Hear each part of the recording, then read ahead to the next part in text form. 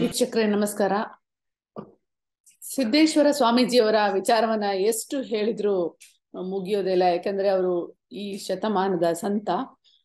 ಅವರು ತಮ್ಮ ಜೀವನದಲ್ಲಿ ಅಳವಡಿಸ್ಕೊಂಡಿದ್ದ ಎಲ್ಲ ವಿಚಾರವನ್ನು ಹೇಳೋಕೆ ಸಾಧ್ಯ ಇಲ್ಲ. ಆದ್ರೆ ಕೆಲವು ವಿಚಾರಗಳನ್ನ ನಾನು ನಿಮ್ ಮುಂದೆ ಈಗ ಹೇಳ್ತೇನೆ. ಕನ್ನಡ ನಾಡು ಸೇರಿದಂತೆ ದೇಶ ವಿದೇಶಗಳಲ್ಲಿ ಆರೇಳು ದಶಕಗಳಿಂದ ಅವರು ಪ್ರತಿನಿತ್ಯ ಪ್ರವಚನವನ್ನೇ ಉಸಿರಾಗಿಸ್ಕೊಂಡಿದ್ದ ವಿಜಯಪುರದ ಜ್ಞಾನ ಯೋಗಾಶ್ರಮದ ಸಿದ್ದೇಶ್ವರ ಸ್ವಾಮೀಜಿ ಅವರು ಅವರು ಬದುಕನ್ನ ಬಹಳ ಸರಳವಾಗಿ ಬದುಕಿದ್ರು.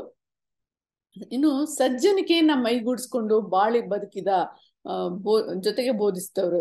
ಸಜ್ಜನಿಕೆ ಅಂದ್ರೆ ಯಾವ ಮಟ್ಟಕ್ಕೆ ಅಂದ್ರೆ ಅವರು ಯಾರು ಅವರಿಗೆ ಯಾವತ್ತು ಕಾಲು ಮುಟ್ಟಿ ನಮಸ್ಕಾರ ಮಾಡಕ್ ಬಿಡ್ತಿರ್ಲಿಲ್ಲ. ಆದ್ರಿಂದ ಅವರ ಭಕ್ತರು ದೂರದಲ್ಲೇ ತಲೆ ನಮಸ್ಕಾರ ಅಡ್ಡ ಬಿದ್ದು ನಮಸ್ಕಾರ ಮಾಡಿದ್ರೆ ಅವರು ಅವರು ಸಹ ಕೈ ಮುಗಿದು ಅವ್ರಿಗೆ ನಮಸ್ಕಾರ ಮಾಡಿ, ಪ್ರತಿ ನಮಸ್ಕಾರ ಮಾಡ್ತಾ ಇದ್ದ ಅಂತ ದೊಡ್ಡ ಚೇತನ ಅವರು.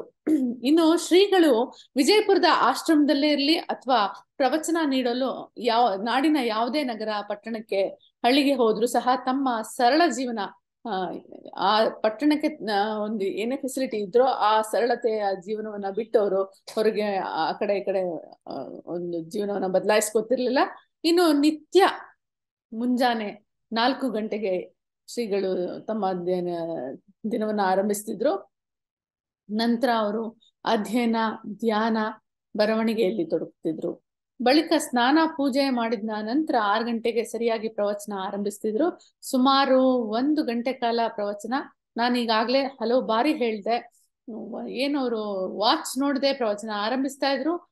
ವಾಚ್ ನೋಡದೆ ಪ್ರವಚನ ಕರೆಕ್ಟ್ ಗಂಟೆ ಹೊಡೆದಾಗೆ ಒಂದು ಗಂಟೆಗೆ ಪ್ರವಚನ ಮುಗಿತಾ ಇತ್ತು. ಒಂದು ಸೆಕೆಂಡ್ ಸಹ ಆ ಕಡೆ ಈ ಕಡೆ ಆಗ್ತಾ ಇಲ್ಲ. ಅದು ಅವರ ತಪಶಕ್ತಿ ಅಂತಾನೆ ಹೇಳ್ಬೋದು ನಾನು. ಆ, ಇನ್ನು ತಮ್ಮ ಮುಂದೆ ಸಾಗರೋಪತಿಯಲ್ಲಿ ಏನು ಜನ ಕುಳಿತುಕೊತಾ ಇದ್ರಲ್ಲ, ಅವ್ರನ್ನ ಸೂಜಿಗೆಲ್ಲಿನಂತೆ ಆಕರ್ಷಿಸುವಂತಹ ಅವ್ರದ್ದು ನಯವಾದ ಭಾಷೆ ಇರ್ತಾ ಇತ್ತು. ಆ ಭಾಷೆ ಕನ್ನಡದಷ್ಟೇ ಒಂದು, ಆ, ಕೌಡಿಮೆ ಅವ್ರಿಗೆ ಇಂಗ್ಲಿಷ್ ಭಾಷೆಯಲ್ಲೂ ಇತ್ತು. ಕನ್ನಡದಲ್ಲಿ ವಾರ್ವಿಡಿ ಕನ್ನಡದಲ್ಲಿ ಒಂದು ಪ್ರವಚನವನ್ನ ನೀಡಿದ್ರೆ ಭಾನುವಾರ ಮಾತ್ರ ಕನ್ನಡ ಬರ್ದೇ ಇರುವಂತಹ ಭಕ್ತರಿಗಾಗಿ ಇಂಗ್ಲಿಷ್ನಲ್ಲಿ ಒಂದು ಗಂಟೆ ಕಾಲ, ಬೆಳಗ್ಗೆ ಆರರಿಂದ ಏಳು ಗಂಟೆವರೆಗೂ ಪ್ರವಚನವನ್ನ ಕೊಡ್ತಾ ಇದ್ರು. ಅದು ಆ ಪ್ರ, ಆ ಸುಂದರವಾದ ಅವರ ಪ್ರವಚನವನ್ನ ಮಂತ್ರ ಮುಗ್ಧರಾಗಿ ಜನರು ಕೇಳ್ತಾ ಇದ್ರು. ಮಕ್ಕಳು ಸಹ ಆ ಪ್ರವಚನದಲ್ಲಿ ಭಾಗವಹಿಸಿರೋದನ್ನ ನಾನು ಹಲವು ಬಾರಿ ನೋಡಿದ್ದೇನೆ. ಇನ್ನು ಕಠಿಣವಾದ ವಿಷಯವನ್ನ ಸಾಮಾನ್ಯ ಜನರಿಗೆ ಅರ್ಥ ಆಗೋ ರೀತಿ ಬಹಳ ಸರಳವಾಗಿ ಹೇಳ್ತಾ ಇದ್ರು. ನವಿರಾದ ಭಾಷೆ ಕಾವ್ಯ ಶೈಲಿ ಅವರ ಪ್ರವಚನದ ಭಾಗವಾಗಿರ್ತಾ ಇತ್ತು ಈ ಪ್ರವಚನವನ್ನ ನಾನು ಸುಮಾರು ಸಿದ್ದೇಶ್ವರ ಸ್ವಾಮೀಜಿಯವರು ಸುತ್ತೂರು ಶ್ರೀಗಳ ಆಶ್ರಮಕ್ಕೆ ಬರ್ತಾ ಇದ್ರು ಅಲ್ಲೂ ನೋಡಿದ್ದೇನೆ. ಮತ್ತೆ ಜ್ಞಾನ ಯೋಗಾಶ್ರಮದ ಅಲ್ಲೂ ಸಹ ಪ್ರವಚನವನ್ನ ಜನ ಕೇಳೋದನ್ನ ನೋಡಿದ್ದೇನೆ, ಕೇಳ, ನೋಡಿದ್ದೇನೆ, ನಾನು ಕೇಳಿದ್ದೇನೆ. ಹಾಗೆ ಜನ ಮುಗಿಬಿದ್ದು ಅವರ ಪ್ರವಚನವನ್ನ ಕೇಳ್ತಾ ಇದ್ರು ಇನ್ನು ಕಠಿಣವಾದ ವಿಷಯವನ್ನ ನನಗಾಗ್ಲೇ ಹೇಳಿದಾಗೆ ಆ ಎಲ್ಲ ವಿಚಾರವನ್ನ ಬಹಳ ಸರಳವಾಗಿ ಹೇಳ್ತಾ ಇದ್ರು. ಅವರ ಆ ರೀತಿ ಪ್ರವಚನ ಬಹಳ ಪರಿಣಾಮಕಾರಿಯಾಗಿರ್ತಾ ಇತ್ತು ಕೇವಲ ಮಾತಿಗೆ ಸೀಮಿತರಾಗದೆ ಅವರು ನುಡಿದಂತೆ ನಡೆಯುವುದನ್ನ ಅಳವಡಿಸ್ಕೊಂಡಿದ್ರು. ಹಾಗಾಗಿ ಅವ್ರನ್ನ ನಾವು ಜನರೆಲ್ಲ ಅವ್ರನ್ನ ನಡೆದಾಡುವ ದೇವರು ಅಂತ ಹೇಳಿ ಕರೆದದ್ದು. ಪ್ರವಚನ ಮುಗಿದ ಬಳಿಕ ಸುಮಾರು ಸ್ವಾಮೀಜಿಯವ್ರನ್ನ ಯಾರೇ ಭೇಟಿ ಆಗ್ಬೇಕಾದ್ರೆ ನಾನು ನೋಡಿದ ಹಾಗೆ ಅವರು ವಾಕ್ ಮಾಡ್ತಾನೆ ಮಾಡ್ತಾನೆ ತಮ್ಮ ಭಕ್ತರ ಜೊತೆ ಮಾತಾಡ್ಕೊಂಡು ಅಲ್ಲೇ ಅವರ ಮಾತುಕತೆಯನ್ನ ಮುಗಿಸ್ತಾ ಇದ್ದನ್ನ ನಾನು ನೋಡಿದ್ದೇನೆ. ಪ್ರವಚನ ಸುಮಾರು ಐದಾರು ಕಿಲೋಮೀಟರ್ ವಿಜಯಪುರದ ಆಶ್ರಮದ ಅವ್ರದ್ದು ಒಂದು ತೋಟ ಇದೆ. ಆ ತೋಟದಿಂದ, ಆ ಭಾಗದಲ್ಲಿ ತುಂಬಾ ವಿಶಾಲವಾದ ಜಾಗದಲ್ಲಿ ಅವರು ತುಂಬಾ ಪ್ರತಿನಿತ್ಯ ಅವರು ನಡೆದಾಡೋದು ಐದಾರು ಕಿಲೋಮೀಟರ್ ಒಂದು ನಿತ್ಯದ ಕಾಯಕವಾಗಿತ್ತು. ಆಮೇಲೆ ಜನರ ಜೊತೆ ಚರ್ಚೆ ವಿಚಾರಗಳನ್ನ ಹಲವು ವಿಚಾರಗಳನ್ನ ರೈತರಿಗೆ ಸಂಬಂಧಪಟ್ಟಿದ್ದು ಇರ್ಬೋದು, ಶಿಕ್ಷಣ ಇರ್ಬೋದು ಜನಜೀವನದ ವಿಚಾರಗಳನ್ನ, ವಿಚ, ವಿಚಾರಗಳನ್ನ ಕೇಳಿ ತಿಳಿದುಕೊಂಡು ಜನರ ಮಾತನ್ನ ಮುಗ್ಧ ಮಗುವಿನಂತೆ ಆಲಿಸೋದನ್ನ ಅವರು ಮಾತು ಕಡಿಮೆ, ಯಾರೇ ಭಕ್ತರು ಹೋದ್ರು ಒಂದು ಸರಳವಾಗಿ ಒಂದು ಮಾತಾಡಿ ಉಳಿದ ಮಾತುಗಳನ್ನ ಬಹಳ ಮಗುವಿನಂತೆ ಕೇಳಿಸ್ಕೊಳ್ಳೋದನ್ನ ನಾನು ಬಹಳ ಹತ್ತಿರದಿಂದ ನೋಡಿದ್ದೇನೆ. ಅಷ್ಟು ತಾಳ್ಮೆ, ಅಷ್ಟು ದೊಡ್ಡ ಸಂತನಿಗೆ ನಿಜವಾಗ್ಲೂ ಅದು ದೈವ ಕೃಪೆನೇ ಆಗಿದ್ದಿರಬಹುದು. ಆ ರೀತಿ ಒಂದು ತಾಳ್ಮೆ ಇರ್ಬೋದು, ಅವರು ಮಗುವಿನ ಮನಸ್ಸಿರ್ಬೋದು, ಆ ರೀತಿ ದೊಡ್ಡ ಸಂತನ ನೋಡಿದಾಗ ಅವರು ಮಾತನಾಡ್ತಾ ಇದ್ರು ಒಂದೆರಡು ಮುಗ್ಧ ಮಾತುಗಳನ್ನೇ ಕೇಳಿ ಭಾವ ಪರಶ್ರ, ಪರವಶರಾಗುವಂತಹ ಸ್ಥಿತಿ ಎಲ್ಲ ಭಕ್ತರದ ಆಗಿರ್ತಾ ಇತ್ತು. ಆಧ್ಯಾತ್ಮ, ಪ್ರಕೃತಿ, ವಿಜ್ಞಾನ, ಕೃಷಿ, ಶಿಕ್ಷಣ ಸೇರಿದಂತೆ ದೈನಂದಿನ ಜೀವನದ ವಿಚಾರಗಳನ್ನ ಜನರಿಂದನೇ ಅವತ್ತಿನ ವಿಚಾರಗಳನ್ನ ತಿಳಿದು ತಿಳಿದುಕೊಳ್ಳುವಂತಹ ಆ ವಿಚಾರ ವಿಚಾರಗಳನ್ನ ಈಗಾಗ್ಲೇ ಹೇಳ್ದೆ, ಅಂದ್ರೆ ಕೇಳ್ತಾ ಇದ್ದಿದ್ದು ಜಾಸ್ತಿ ಅವರು. ತಾವು ಹೇಳೋದಕ್ಕಿಂತ ಜನರ ವಿಚಾರಗಳನ್ನ ಅವರಲ್ಲಿರುವಂತಹ ಸಮಸ್ಯೆ ಇರ್ಬೋದು ಒಳ್ಳೆ ವಿಚಾರ ಇರ್ಬೋದು, ಎಲ್ಲವನ್ನು ಕೇಳಿ ತಿಳಿದುಕೊಳ್ತಾ ಇದ್ರು. ಕಠಿ ಶ್ರೀಗಳು ಜೊತೆಗೆ ನಾನು ಈಗಾಗ್ಲೇ ಪ್ರಕೃತಿ ಪ್ರಿಯರಾಗಿದ್ರು. ವಿಜಯ, ವಿಜಯಪುರದಲ್ಲಿ ಅವರು ಬಹಳ ಒಂದು, ತುಂಬಾ ಒಂದು ದೊಡ್ಡ ವಾಕನ್ನೇ ಮಾಡ್ತಾ ಇದ್ರು. ಅದ್ರ ಜೊತೆಗೆ ಅವರು ತಮ್ಮ ಭಕ್ತರನ್ನು ಅದೇ ಸಂದರ್ಭದಲ್ಲಿ ಭೇಟಿಯಾಗೋ ಸಂದರ್ಭ ಹಲವನ್ನ, ಹಲವಾರು ಸಂದರ್ಭಗಳು ಇರ್ತಾ ಇತ್ತು. ಹೀಗಾಗಿಯೇ ಅವರು ಆಶ್ರಮದಲ್ಲಿ ಸಹ ಗಿಡ ಮರಗಳನ್ನ ಬಹಳ ಹಚ್ಚ ಹಸಿರಿನಿಂದ ಕೂಡಿದೆ.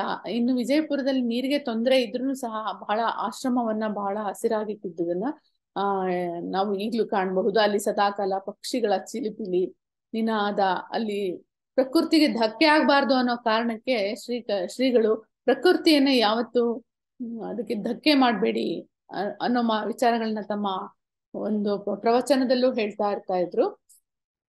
ಆಶ್ರಮದಲ್ಲಿ ಮೈ ಚಾಚಿಕೊಂಡಿರುವ ಬೃಹದಾದ ಆಲದ ಮರಕ್ಕೆ ಕೊಂಬೆಗಳನ್ನ ಕತ್ತರಿಸಕ್ ಹೋದಾಗ ಶ್ರೀಗಳ ಅದನ್ನ ತಡೆದು ಇಳಿ ಬಿದ್ದಿರುವ ಕೊಂಬೆಗಳಿಗೆ ಕಂಬವನ್ನ ನಿಲ್ಲಿಸಿ ಆಶ್ರಯ ಕೊಟ್ಟಿರೋದನ್ನ ಈಗಲೂ ಸಹ ಆಶ್ರಮದಲ್ಲಿ ಕಾಣಬಹುದಾಗಿದೆ.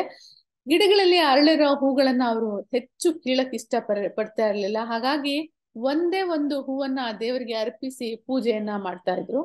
ಪ್ರಕೃತಿ ಪ್ರಾಣಿಗಳನ್ನ ಬಹಳ ಪ್ರೀತಿ ಮಾಡ್ತಾ ಇದ್ರು. ಪ್ರಕೃತಿ ಪ್ರಾಣಿ ಎಲ್ಲವೂ ದೈವಾಂಶ ಅದರಲ್ಲಿ ಕಾಣುವುದನ್ನ ಅವರು ನಮ್ಮ ವಚನಕಾರರ ರೀತಿಯಲ್ಲೇ ನೋಡ್ತಾ ಇದ್ರು. ಆ, ಬಿಡುವಿದ್ದಾಗ ಮಧ್ಯಾಹ್ನ ಸ್ವಲ್ಪ ಶ್ರಾ ವಿಶ್ರಾಂತಿ ತೆಗೆದುಕೊಂಡು ಬಳಿಕ ಮತ್ತೆ ಅಧ್ಯಯನದಲ್ಲಿ ಚರ್ಚೆಯಲ್ಲಿ ತೊಡಗ್ತಾ ಇದ್ರು. ಸಂಜೆ ಕೆಲ ಹೊತ್ತು ಸಂಗೀತವನ್ನ ಆಲಿಸುವ ಒಂದು ಅಭಿರುಚಿ ಸಹ ಸ್ವಾಮೀಜಿ ಅವರಿಗಿತ್ತು ಶಹನಾಯ್, ಜಲತರಂಗ, ಕೊಳಲು ವಾದನ ಅವರಿಗೆ ಬಹಳ ಇಷ್ಟ. ಭಕ್ತಿ, ಭಜನೆ, ಶಿವ, ಶಿವಶರಣರ ವಚನಗಳು ಶ್ಲೋಕಗಳನ್ನ ಅಲಿಸ್ತಿದ್ರು. ಸ್ವಾಮೀಜಿ ಅವರು ತಮ್ಮ ಇಡೀ ಪ್ರವಚನ ಆದ್ಮೇಲೆ ಬರೀ ಅಧ್ಯಯನದಲ್ಲೇ ತೊಡಗ್ತಾ ಇದ್ದೀನಿ ನೆಕ್ಸ್ಟ್ ಪ್ರವಚ, ಪ್ರವಚನದಲ್ಲಿ ನಾವು ಅದನ್ನ ಅವ್ರಿಗೆ ಇಷ್ಟೊಂದು ವಿಚಾರಗಳನ್ನ ಹೇಳ್ತಾ ಇದ್ರು. ಅಂದ್ರೆ ಇಡೀ ವಿಶ್ವದ ಸಾಹಿತ್ಯವನ್ನ ಹೇಳ್ತಾ ಇದ್ದು, ಹೇಳ್ತಾ ಇದ್ದದ್ದು ಜೊತೆಗೆ ವಿಶ್ವ ಮಟ್ಟದಲ್ಲಿರುವ ಸಾಕ್ರೆಟಿಸ್ ಪ್ಲೇಟೋ ಅಂತವ್ರ ತತ್ವಜ್ಞಾನಗಳ ಬಗ್ಗೆ ಅಥವಾ ಆಧ್ಯಾತ್ಮದ ಬಗ್ಗೆ ಎಲ್ಲ ವಿಶ್ವದಲ್ಲಿರುವ ಎಲ್ಲ ವಿಚಾರಗಳನ್ನ ಅವರು ತಮ್ಮ ಪ್ರವಚನದಲ್ಲಿ ಅಳವಡಿಸಿ ಜನರಿಗೆ ಅರ್ಥ ಮಾಡಿಸೋದು. ಎಲ್ಲ ಮನುಷ್ಯ ಕುಲ ಎಲ್ಲ ಒಂದೇ. ಯಾಕಂದ್ರೆ ಎಲ್ರು ನಗೋಕ್ ಮುಂಚೆ ಸ್ಮೈಲ್ ಮಾಡ್ಲೇಬೇಕು. ಹಾಗಾಗಿ ಮನುಷ್ಯನ ಒಂದು ಕಷ್ಟ, ಸುಖ ಎಲ್ಲಿ ಹೋದ್ರು ಒಂದೇ ಅನ್ನೋದು ವಿಚಾರವನ್ನ ಅವರು ಆ ಮೂಲಕ ನಮ್ಗೆಲ್ಲ ತಿಳಿ, ತಿಳಿಸ್ತಾ ಇದ್ರು. ಇನ್ನು ಸದಾಕಾಲ ಶ್ವೇತ ವಸ್ತ್ರಧಾರಿಯಾಗಿರ್ತಾ ಇದ್ರು. ಈಗಾಗ್ಲೇ ನಾವು ನಮ್ಮ ಹಲವು ಕಾರ್ಯಕ್ರಮದಲ್ಲಿ ಈಗಾಗ್ಲೇ ನಾವು ಈ ಹಿಂದೆ ಹೇಳಿರುವ ಒಂದು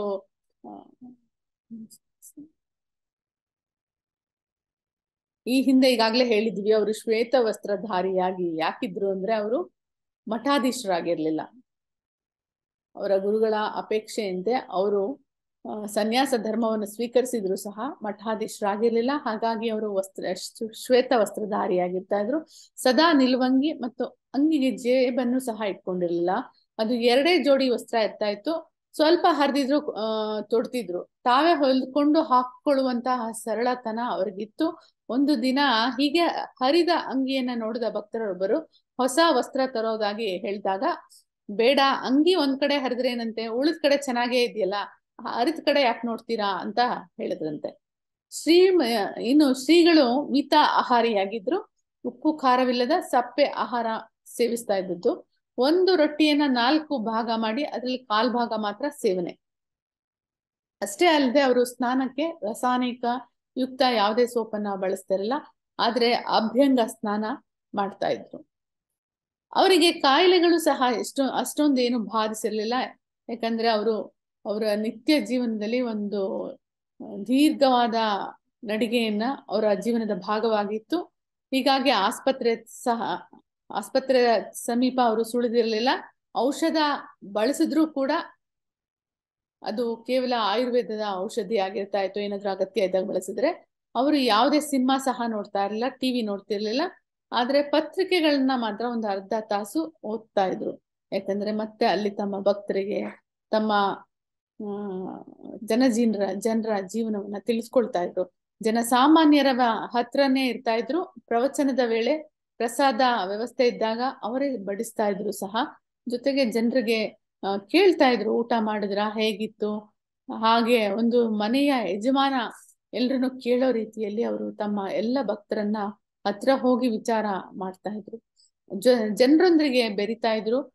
ಈಗಾಗ್ಲೇ ನಾನು ಹೇಳಿದೆ, ಪಾದ ಮುಟ್ಟಿ ನಮಸ್ಕರಿಸೋಕೆ ಅವರು ಅವಕಾಶ ಕೊಡ್ತಿರ್ಲಿಲ್ಲ. ಪ್ರತಿಯಾಗಿ ಅವರು ಸ ಪ್ರತಿಯೊಬ್ಬರಿಗೂ ನಮಸ್ಕಾರ ಮಾಡ್ತಾ ಇದ್ರು. ಅವರಿಗೆ, ಆ, ಯಾವುದೇ ವ್ಯವಹಾರವನ್ನು ಸಹ ಅವರು ಎಂದೂ ಮಾಡ್ತಿರ್ಲಿಲ್ಲ. ಮಠದ ವ್ಯವಹಾರವನ್ನು ಅವರು ವಹಿಸ್ಕೊಂಡಿರ್ಲಿಲ್ಲ. ಕೈಯಲ್ಲಿ ಎಂದೂ ಹಣವನ್ನೇ ಮುಟ್ಟಿಲ್ಲ. ಅಷ್ಟೊಂದು ಸರಳತೆಯ, ಆ, ವ್ಯಕ್ತಿ ಶ್ರೀ ಸಿದ್ದೇಶ್ವರ ಸ್ವಾಮೀಜಿ ಅವರು ಅಂತ ವಿಶೇಷ ಸಂತನನ್ನ ಮತ್ತೆ ಕಾಣೋಕ್ ಸಾಧ್ಯವೇ ಅಂತ ಹೇಳಿ ಅವರ ಭಕ್ತಗಣ ಇವತ್ತು ಸ್ವಾಮೀಜಿಯವ್ರನ್ನ ಕಳಿಸ್ಕೊಡ್ಲಿಕ್ಕೆ ಬಹಳ ದುಃಖಿಸ್ತಿದ್ದಾರೆ. ಆದ್ರೆ ಸ್ವಾಮೀಜಿಯವರು ಎಲ್ಲೂ ಹೋಗಿಲ್ಲ, ನಮ್ಮೊಳಗೆ ಇದ್ದಾರೆ, ಬೆಳಕಾಗಿ ನಮ್ಮೊಳಗೆ ಸೇರ್ಕೊಂಡಿದ್ದಾರೆ. ಸಿಯಾನ್ ಚಾನೆಲ್ನ ನೋಡ್ತಾ ಇರಿ, ಸಬ್ಸ್ಕ್ರೈಬ್ ಆಗಿ ಲೈಕ್ ಮಾಡಿ, ಶೇರ್ ಮಾಡಿ, ಮುಕ್ತ ಪತ್ರಿಕೋದ್ಯಮವನ್ನು ಬೆಂಬಲಿಸಿ. ನಮಸ್ಕಾರ.